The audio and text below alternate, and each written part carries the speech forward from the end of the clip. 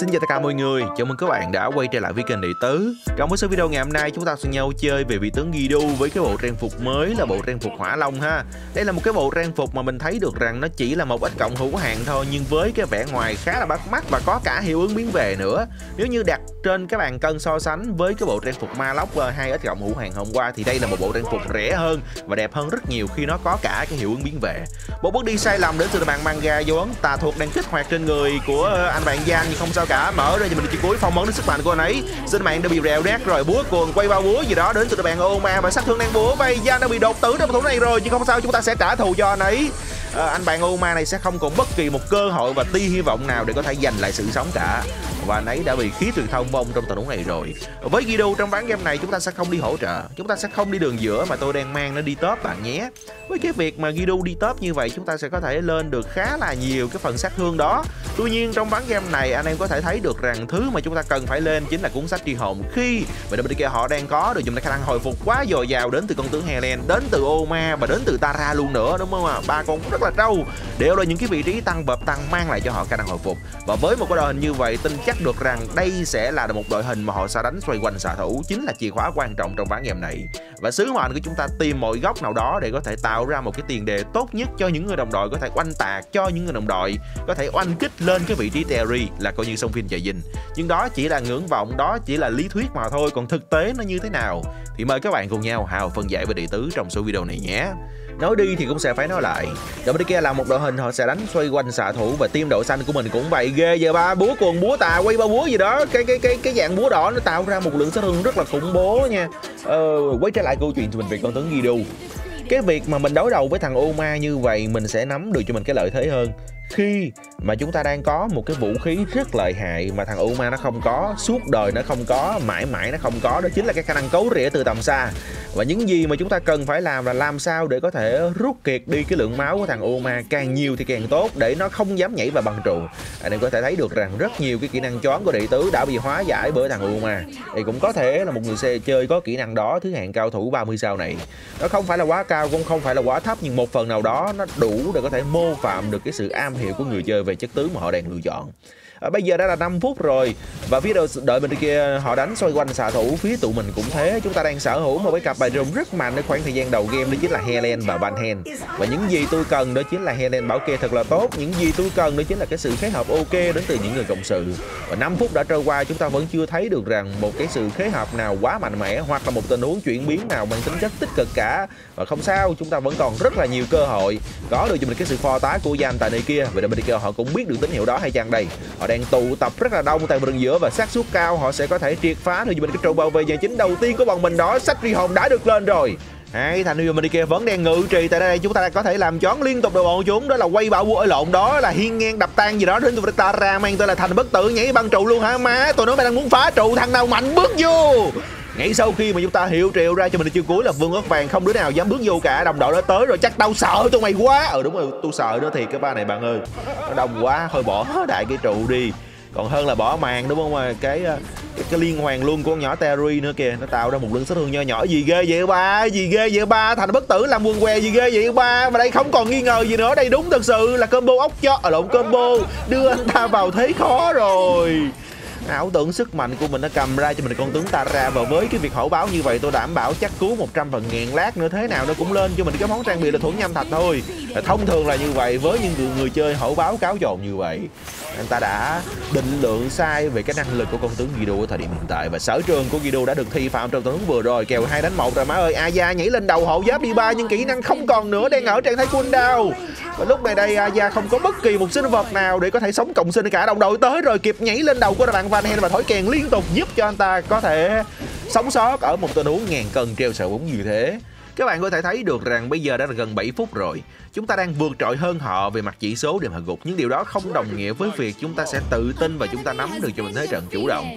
Khi mà bọn chúng đang làm quá tốt cái công tác cắt cử lực lượng ra và thực hiện ra cho mình công tác phá trụ, Bọn chúng đã có thể lấy được cái hàng trụ ngoài của bọn mình rồi. Và những gì chúng ta cần làm là tập trung nhiều vào cái việc phút trụ của bọn chúng như nào, anh em ơi. Tôi đánh cái thằng Oma như là mũi chích inox vậy, tiếp viện tới rồi ông nội nó chạy vì cũng không được cái pha này nữa. Khi chúng ta đang giảm chế khả năng hồi phục của nó và có Aya nữa rồi, Aya ngồi trên đầu của thằng Gian đi quất đi ba. Chắc cứu được một điều của thằng này, nó sẽ bị tuyệt mạng. Vấn đề chỉ là thời gian mà thôi. Yeah làm tốt rồi đó. Mong rằng à, cái bộ đôi Aya và Gian sẽ có thể tạo ra được cái sức ép cho bọn chúng trong cảnh trận. Con rồng và Caesar vẫn đang là những sự lựa chọn bỏ ngỏ kìa Gian ơi. Dạ đang tiến hành sơ tái đi cho mình con ra Tôi đang cố gắng đẩy trụ thật là nhanh, Và sau đó sẽ hỗ trợ anh bạn ấy thật là sớm. Có một câu hỏi nghi vấn được đặt ra là Liệu rằng họ có ăn kịp hay không Khi cái khoảng thời gian của con xe ra nó còn tồn tại? Không là quá nhiều đâu nhé. Thì thấy mụ nội rồi bạn ơi Để mình họ biết được điều đó. Đó là linh hồn sóc nhỏ, Đó là rừng sâu bảo hộ đã hóa thú, Và cô ấy đã có thằng cá ở đây cho mình con ra rất tốt nha. Đến với Aya Mở ra cho mình chỉ cuối là mưa sao băng. Cái bão lá nó hụt lớp rồi, Nhưng không sao cả. Chúng ta cũng đã có thể xua đuổi được cái anh kia Khi mà cái vị trí Stalemakel Ribbon kia họ thối lui. Một tín hiệu hơi bị xấu là bạn Van Hen đang solo cùng với Tara. Chắc chắn là một điều Van Hen sẽ không phải là đối thủ của Tara rồi. Khi Tara bật ra cho mình cú là thân thể thép. Và cộng với cái nội tại chiến ý đó, máu mất càng nhiều, sát thương nó lại càng tốt. Và Van Hen anh ta nên chấn chỉnh lại chính bản thân anh ấy. Chỉ thật sự mạnh khi có được cho mình cái sự khế hợp đến từ những người cộng sự mà thôi. Thoát khỏi ra cho mình trạng thái quân đào nhảy băng trụ luôn hả? Ba, ghê vậy ba. Lại là một tín hô báo nữa đến từ mình ý của Tara tôi hiệu triệu ra cho mình chiêu cuối để có thể xua đuổi được bọn chúng. Và sinh mạng của cô nàng Greasy vẫn được bảo toàn đơn phương phá hội đến từ cái cặp bay trùng Aya và Jan không ổn một chút nào cả và Aya sẽ có thể sống sót được. Khi Aya có được cho mình cái nội tại là sóc lọ ấy lộn sóc uh, sóc linh linh hồn sóc nhỏ. Một người chơi với một cái lối chơi chủ nghĩa cá nhân đó chính là cái thằng quỷ ô ma này. Nó không quá tập trung nhiều vào cái việc giao tranh bởi vì nó biết được rằng nó chưa cần thiết lắm ở những tình huống bạc như vậy. Và nó tập trung rất là nhiều vào cái việc đẩy trụ và chiến thuật này. Nó đang rất là hiệu quả đối với các thành viên đội xanh mình. Chúng ta đang có quá nhiều lỗ hổng chúng ta đang có quá nhiều khuyết điểm. Chúng ta cần nhiều hơn thời gian để có thể chữa lành được những khuyết điểm này hay chăng? Đây và chúng ta đang trên tiến trình đó. Họ đã thấy được vấn đề rồi và có được cho mình cái sự tương hội rất tốt đến từ Aya và Van và mong rằng họ sẽ có thể duy vững được điều đó. Quay trở lại câu chuyện tụi mình về con tướng Gidu thì các bạn biết đó Gidu nó mạnh mẽ hay không là nằm ở khả năng khống chế. Mà bạn khống chế càng trúng nhiều người thì nó lại càng tốt. Nhưng đó thực sự nó đang là rất khó dành cho các thành viên đội sao mình anh em có thể thấy được rằng bọn chúng đang thực sự là quá trâu và cái nỗi khó của Gidu nữa là phải lựa chọn cái thời điểm nào mà cái cái cái cái người support của bọn chúng không còn được cái thủy triều mở trối thì chúng ta mới có thể làm chón được và đây là cơ hội để này nhảy vô đầu ba. Đúng rồi, không chế được bốn thằng bên kia vào đó, đây thực sự là mình thấy cộng kìm và domino ý tử đang dành cho các đội bên kia và họ không thể nào trở mình được trước một cái pha ờ, trước một cái khoa, trước một cái pha khóa quá khủng khiếp đến từ Gidu anh có thể thấy được rằng đó đúng thực sự là sở trường của Guido, vừa được thị phạm rồi đó. Mức độ phê phán của con tướng Guido là cực kỳ cao một cái tín hiệu xấu dành cho các thành viên đội xanh của mình đó chính là bạn Jan anh ta never involver anh ta không hề tham chiến ở những tình huống giao tranh quan trọng như vậy. Và nếu như có được cho mình cái sự góp mặt của Jan thì chắc có lẽ chúng ta đã nắm được cho mình cái đại thế và chúng ta đã và đang có được rất nhiều giá trị rồi đó. Mong rằng anh bạn Jan sẽ tự động chấn chỉnh và sửa lại mình đi nhé bây giờ thì sao đi ạ? À? ờ, chúng ta vừa có được một cái pha đại thắng lợi và chúng ta sẽ có được những cái giá trị gì kế tiếp đây cùng nhau chờ xem. Chắc có lẽ chỉ là một con Caesar ở thời điểm phút thứ 10 này mà thôi chỉ là một cái đại lộ Caesar và mong rằng với cái đại lộ Caesar này chúng ta có sẽ có thể break down được những cái trụ kế của bọn chúng. Quay trở lại câu chuyện từ mình về con tướng Gidu Và sau cái pha mà tôi đã có thể nhốt được bốn người như vậy Đảm bảo được rằng America họ đã có được mình cái sự đề cao cảnh giác Và họ đã biết được cái năng lực thực chiến con tướng Gidu nó là như thế nào và họ sẽ hạn chế cái hành động get together đi cùng với nhau. Là cái thứ nhất, cái thứ hai nữa là cái con nhỏ Helen nó luôn sẵn sàng đưa duyên cho mình cái thủy triều mở rối để có thể giải trừ, để cứu vớt được sinh mạng của những cái đồng đội ở những cái pha mà dính phải cho mình cái chen cc như vậy. Và chúng ta sẽ phải làm những gì đây? Giải trừ ra cho mình được phong ấn và có được cho mình cái đại lộ Caesar tại vườn dưới. Và Tara nó đang đẩy cao được lính lên tại vườn trên. Và đó đúng thực sự là một cái bài toán khó dành cho phi đội mình bọn chúng chỉ đang có là ba người tại đây. Chúng ta tới tầng là bốn người có sẵn sàng chơi. Lộn, chúng ta tới tầng là năm người sẵn sàng chơi hay chưa đây? Chúng ta đang muốn chơi mưa sao băng đến từ cô đàn crazy tung ra mình đang là bảo lá giật độc gì đó đến từ bạn manga nhảy lên huấn thân nhưng khả năng hồi phục đến từ bọn chúng đang là quá dữ và không thể nào được chơi game tiếp tục rồi khi mà Tara đang đẩy lẻ kìa mấy ông nội mẹ ơi hãy cẩn thận một cái động thái đo đến từ con nhỏ Tara ấy lộn đến đến đến từ cái thằng uh, thành bất tử gì đó các bạn có thể thấy được rằng bọn chúng đang rất giỏi trong cái việc phân tán cái sự tập trung của bọn mình bọn chúng ép bọn mình rơi vào cái trạng thái là third win hoặc là liền tức là tiếng thối lượng nan bây giờ nó quýnh nhau đúng không? Ok, quýnh nhau, coi như mất trụ, mất game luôn. Bây giờ rút lui đúng không? Ok, rút lui thì tụi tôi có thêm lãnh thổ, nó là như vậy. Tín hiệu đánh nhau lại được truyền tống lên, nhưng chúng ta chưa đủ căn cứ để có thể chơi được ai dài. chúng ta cần lắm, được cho mình cái sự kết hợp đến từ các bạn Gian tại nơi kia. Chuẩn bị nào?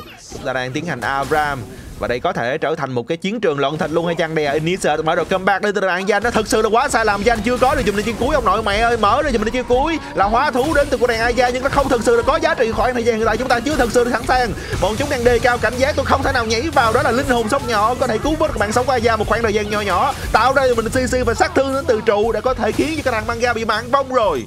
Không ổn một chút nào cả cái con nhỏ Helen nó luôn sẵn sàng đi cho mình cái thủy triều mở rối đó. Tôi không thằng nào nhảy vào, tôi mà nhảy vào cái pha đó là tôi như, coi như là tôi bị sùi máu mỏ rồi.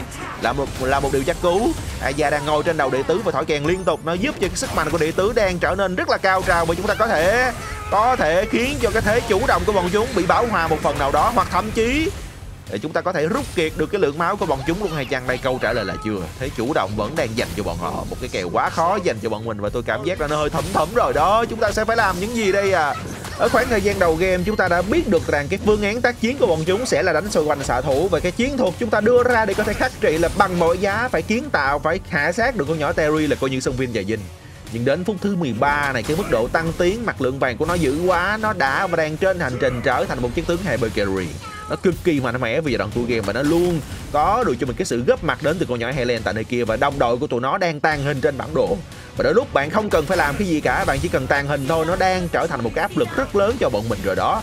Chúng ta vẫn đang phục kích tín hiệu ăn Caesar đến từ bàn Banhen chúng ta đủ tự tin ăn hay chưa đây? Câu trả lời là có. Chúng ta đang nắm được trên cái quyền kiểm soát tại hàng Caesar nhưng điều đó không đồng nghĩa với việc chúng ta sẽ có thể ăn Caesar một cách dễ dàng và nhẹ nhàng thần khí sông luôn của con nhỏ Terry nắm bắt được thông tin tụi mình đang ăn Caesar hãy cảnh giác tôi đang cố gắng tạo ra được cho mình những cái hiệu ứng khống chế là người con nhỏ Terry Terry đang có full nội tại ông mọi mẹ ơi Chen CC được chồng chất ra đồng đội nó mất tiêu rồi. Van Hen được bắn kìa. Van Hen đang tìm một góc quá đẹp khống chế được ba lần người bên kia. Dịch chuyển sang bên kia. Huấn thân và tạo ra khống chế một lần nữa. Van Hen vẫn đang được quy sắp. Van Hen đang có full nội tại mang ra tới rồi. Nó giật đầu kia rồi ơi ông nội mày ơi cái lượng sát thương power của nó dữ quá và chắc chắn được rằng cô này crazy.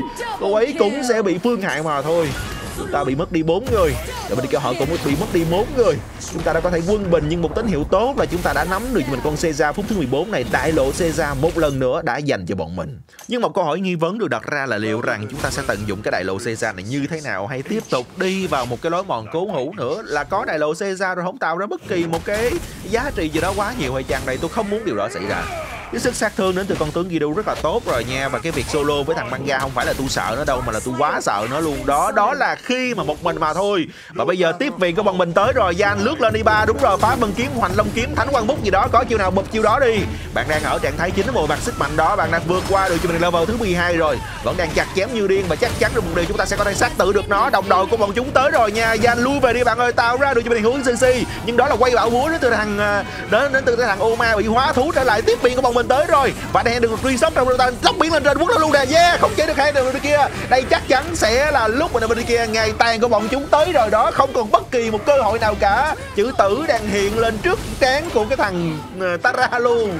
Năm thành viên bên kia đều đã bị khai trừ rồi. Và quá là kêu đã dành cho các bạn Van Hen rất tốt rồi ha và như vậy là mọi thứ đã và đang bị băng hoại rồi. Đến từ một cái hành động khinh suất, đến từ một cái hành động khinh địch. Và rồi anh bạn à, Tara đã phải hửi địch cùng với những người đồng đội của anh ấy, đã dẫn đến một cái hệ lụy là quá thảm hại cho những người cộng sự của anh ấy. Không còn bất kỳ một cơ hội và tí hy vọng nào cả. Cảm ơn các bạn đã dành ra thời gian quý báu để xem video. Hẹn gặp lại các bạn ở số video vào lần sau nha. Với con tướng Gidu mặc cái bộ trang phục này chơi nó đã thiệt chứ. Và chiến thắng đang dành cho bọn mình là tắc lẻ dĩ ngẫu mà thôi.